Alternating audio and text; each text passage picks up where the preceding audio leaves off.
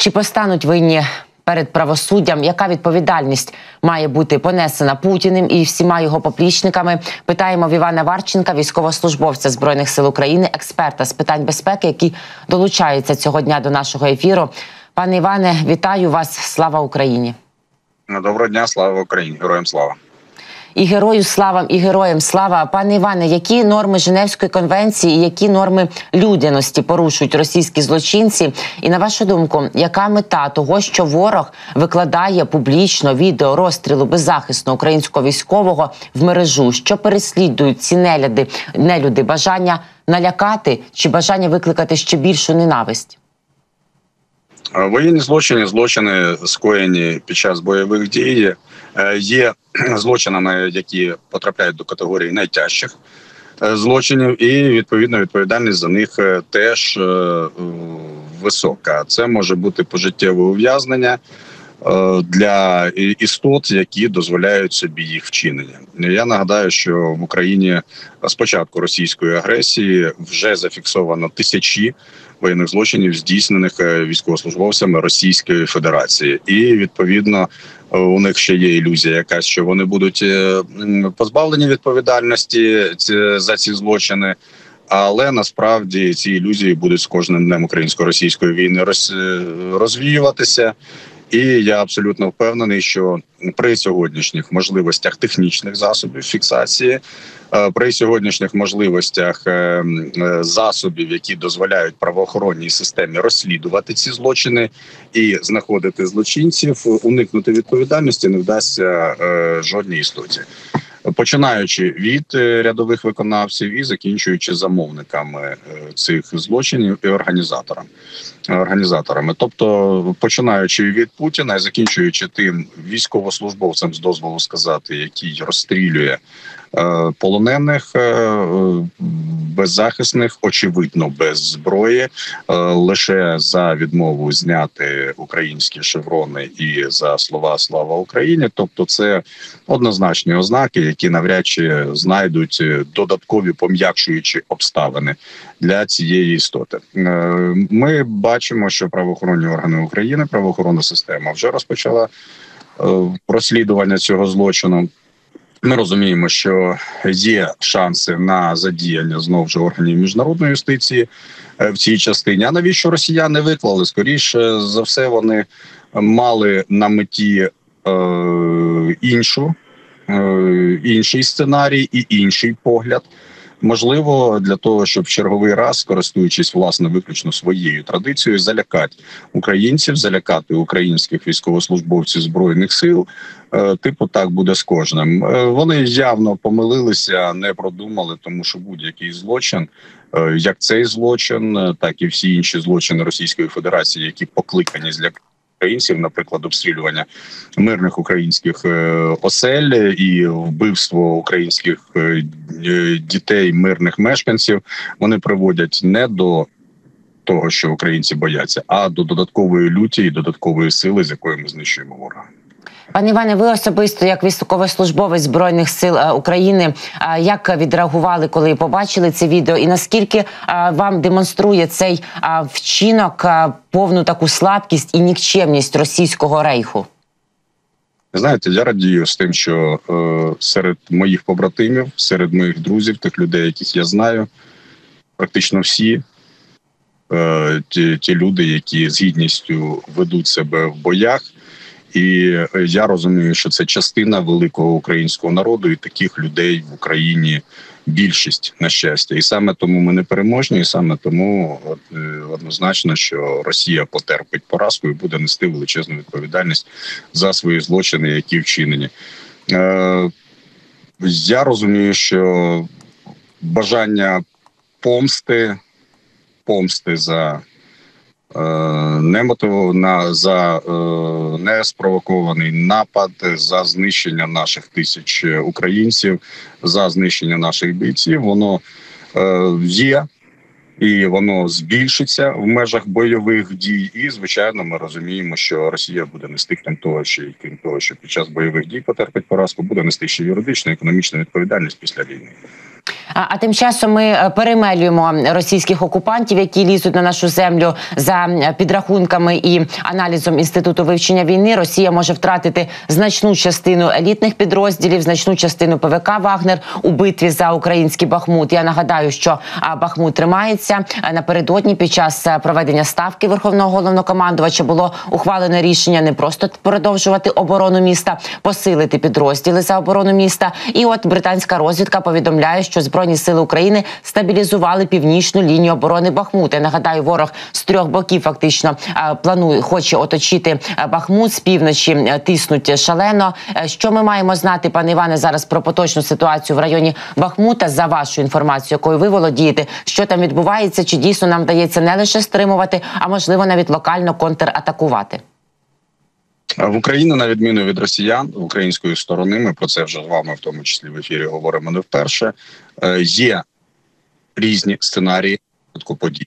Ми можемо тримати Бахмут, як власне це зараз відбувається. Ми можемо відійти на інші підготовлені позиції, щоб далі з інших позицій перемелювати росіян знову ж в кількості і в пропорціях, які дуже на користь українським силам оборони.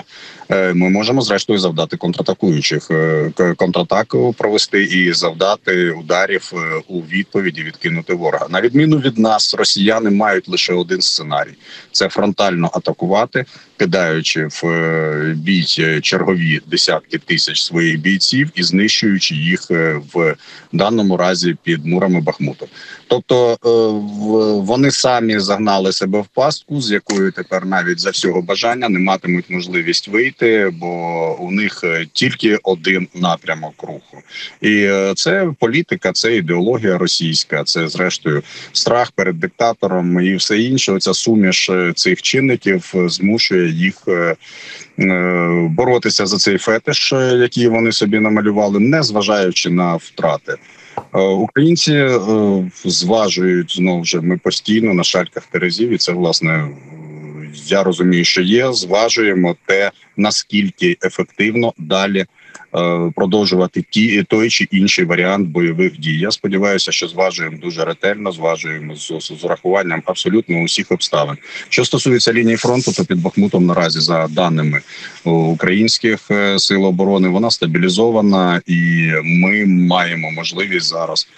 І постачання, звичайно, ми не говоримо зараз про 100% постачання там можливості, зрозуміло, з урахуванням усіх тих обставин, які на сьогоднішній день складаються, але е, постачання відбувається, евакуація поранених і посилення додатковими силами і засобами. Все це відбувається. Тобто, Бахмут наразі е, здійснює свою місію, а саме знищує ворога в пропорції, яка на користь України.